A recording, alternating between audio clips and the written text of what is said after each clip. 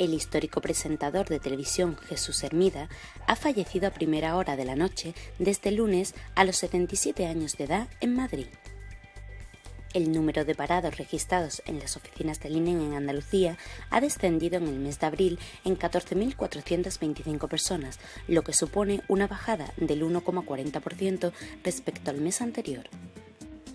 El menor de 13 años que desapareció este domingo en Istán cuando salió a pasear a su perro ha sido hallado en buen estado. Agentes del Cuerpo Nacional de Policía han puesto en marcha una iniciativa para lograr que las bicicletas intervenidas como consecuencia de las investigaciones y la prevención policial vuelvan a manos de sus respectivos y legítimos propietarios. El gaditano Raúl Raspao, que adquiriera fama y notoriedad a finales del pasado año al ser uno de los protagonistas del programa Adán y Eva, prepara su salto al mundo de la música. Más noticias al minuto en la versión clásica y móvil de andaluciainformación.es, así como en Facebook, Twitter, Google Plus y YouTube. También puede darse de alta en nuestro servicio gratuito de newsletter, gracias al cual recibirá a diario todas las noticias de su localidad en su email.